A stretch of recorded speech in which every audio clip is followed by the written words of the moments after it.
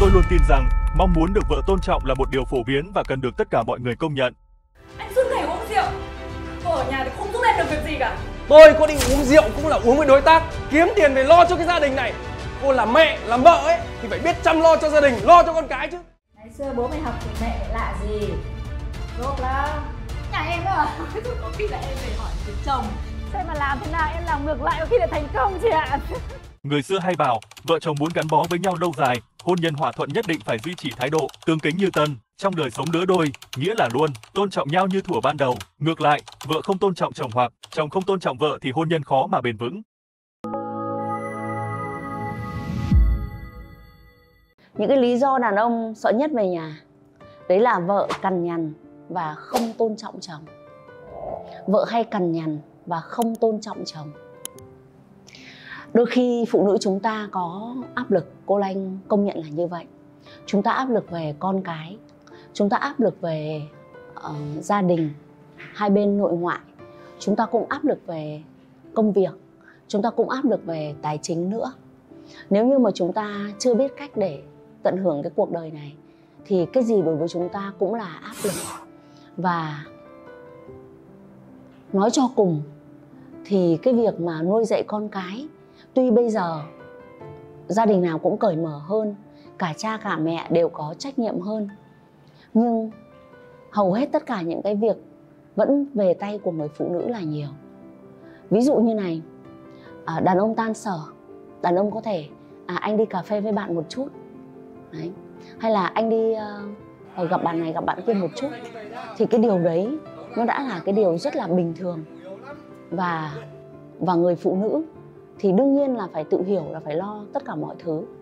Đúng không ạ? Nên là cứ nhìn tưởng là việc không tên đấy.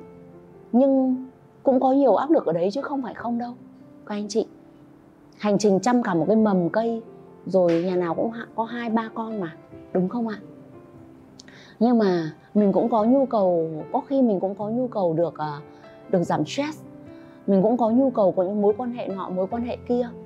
Và vì vậy đôi khi mình uh, tan sở về mọi người nghĩ rằng à tức là phần đa nhá nghĩ rằng là phụ nữ tan sở về là phải về nhà phải cơm nước phải con cái. Nên là mình tan phở sở về mình cũng muốn đi uống cốc cà phê hay là mình cũng muốn ờ, shopping thêm hay là mình cũng muốn gặp gỡ bạn bè nhưng mà hầu như không. Nên là rất nhiều người phụ nữ khi một cô đánh coaching cho ấy là 5 năm đầu ấy là quên hết bạn bè kể cả là bạn bè thân cũng ít khi lắm gặp gỡ nhau. Ít lắm luôn ấy. Ừ. có khi sau này con cái lớn lớn rồi thì lúc đấy mới lại lại thỉnh thoảng hẹn hò nhau một chút thôi. Nên cái áp lực đó cái sự khó chịu đó đôi khi làm cho mình bị ờ, ức chế ở bên trong. Và vì thế mình nhìn về nhà mình nhìn cái này mình nhìn cái kia mình không có vừa mắt và mình cằn nhằn chồng mình cằn nhằn con. Và không, cái cái gốc rễ không phải là mình không tôn trọng đâu. Mình tôn trọng, mình yêu thì mình mới lấy chứ. Nhưng mà cái lúc đấy là cái bọ cạp của mình nó trồi ra. Cái con bọ cạp ấy, cái nỗi đau, cái sự tổn thương của mình nó trồi ra. Nên là mình mới nói cái này, nói cái kia. Chạm nọc anh ấy, và anh ấy thấy là không tôn trọng. Tôi coaching cho một cô cô ấy ờ, 60 tuổi rồi và cô ấy bảo là ngày xưa em chuyên so sánh uh, chồng mình với người khác. Sau đến lúc mà có hôm chồng mới bảo là ờ nó hay nó tốt thì sao mà ở với nó? Đi đi sao mà ở với nó? Ừ. ờ thằng này không ra gì thì ở đây làm gì?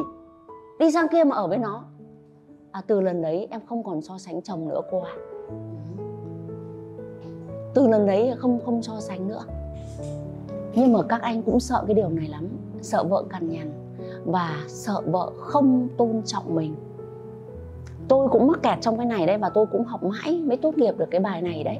Các anh chị, đấy, mình cũng mắc kẹt đấy và mình cũng học mãi đấy mới tốt nghiệp được cái bài bài này. Bởi vì mình cằn nhằn, mình cằn nhằn, mình cảm giảm là tôi bị mắc kẹt mô thức mẫu của mẹ tôi. Thỉnh thoảng khi mà mình mình bé mình ở nhà thì mình hay hay nói chung là cái mô thức của mình nó sao chép. Mô thức của mẹ mẹ mình cảm giảm bố mình mẹ mình chê bai bố mình. Đã thế còn hay chê bai trước mặt mình nữa. Ừ. và mình đương nhiên mình không thích điều đấy đâu nhưng mà vô thức của mình thì nó thẩm thấu. Và vô thức của mình thì nó khọc khọc khọc khọc khọc. À, nó sao chép hết. Và sau đó thì mình cũng mắc kẹt cái mô thức mẫu đấy của mẹ mình sang mình. Và mình cũng cảm giảm chồng mình giống như mẹ mình cảm giảm bố mình. Mình không muốn điều đấy đâu nhưng nó ở trong mình rồi. Nó đi vào mô thức của, của mình rồi. Các anh chị và nó trở thành mình từ lúc nào mình không biết. Mặc dù hành vi đấy là hành vi xấu và mình không muốn có nhá. Các anh chị nhá. Mình có những cái mô thức mẫu mà mình không biết nó đến với mình từ lúc nào. Cha mình, mẹ mình, nó đi vào trong mình. Và và khi mà chúng ta hiểu về thế giới bên trong của chúng ta chúng ta hiểu về tâm thức, chúng ta hiểu về người bạn vô thức của mình, thì sự thật là như này, chúng ta càng ghi nhận chồng, thì chồng của chúng ta càng giỏi càng tôn trọng chồng thì chồng của chúng ta càng giỏi. Nên tôi coaching cho một bạn ở Hà Nội 9 năm 9 năm lấy nhau. Bạn bảo là chẳng bao giờ chồng cho tiền chẳng bao giờ chồng uh, để ý đến là à mình vợ chồng mình cùng cố gắng làm cái này làm cái kia. Thế thì khi mà tôi coaching ấy thì tôi bảo bây giờ muốn chồng như nào viết ra và nói với anh ấy như vậy.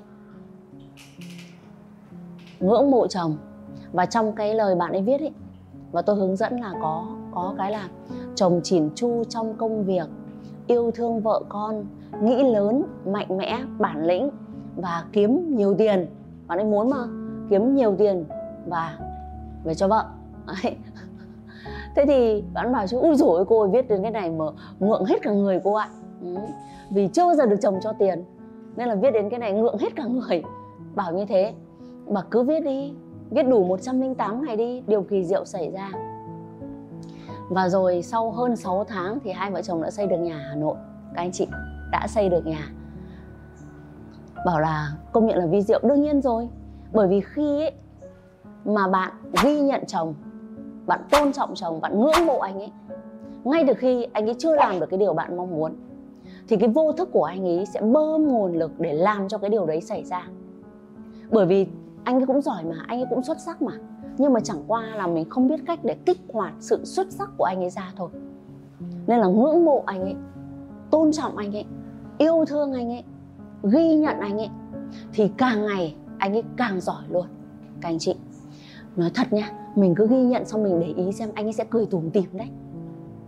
Anh ấy sẽ cười tủm tỉm đấy, bởi vì sướng lắm, cực kỳ sướng luôn.